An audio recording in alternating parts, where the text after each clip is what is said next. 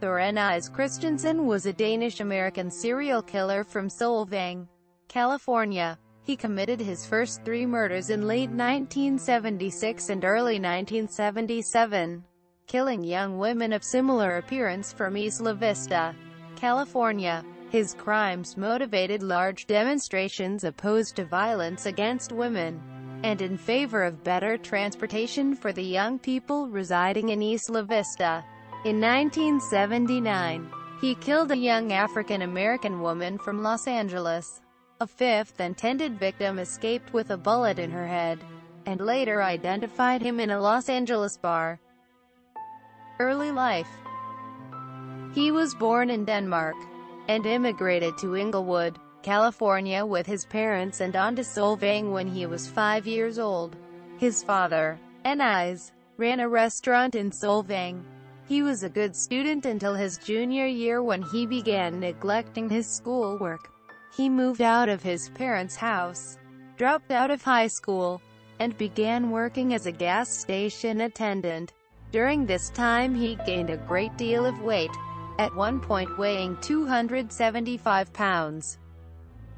Murders Christiansen was obsessed with fantasies of shooting women and having sex with their corpses.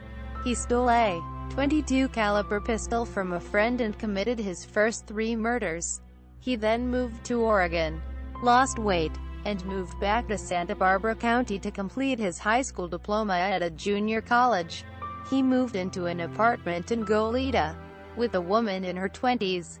They met while she was hitchhiking.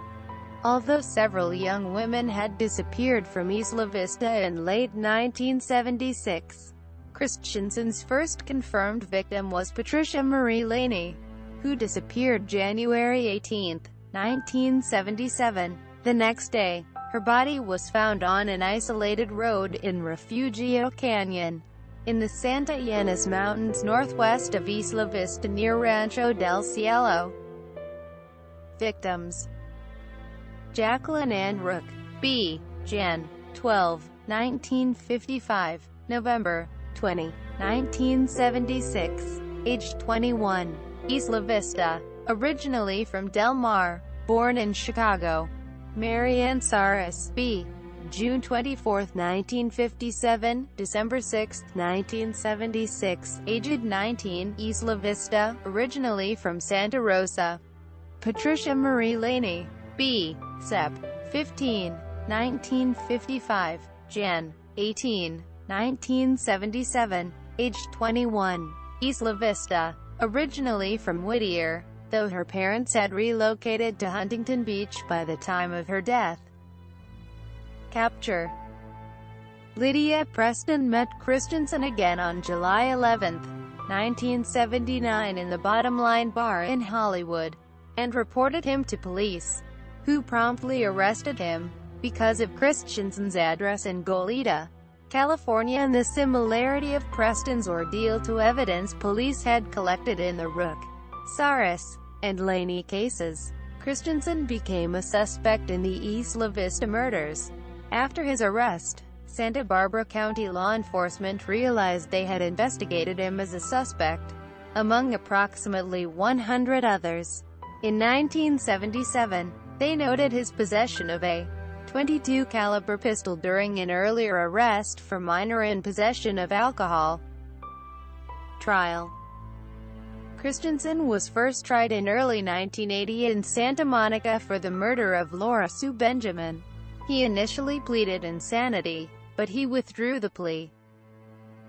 Death On March 30, 1981, Christiansen died from a single stab wound in the chest in the exercise yard at Folsom State Prison.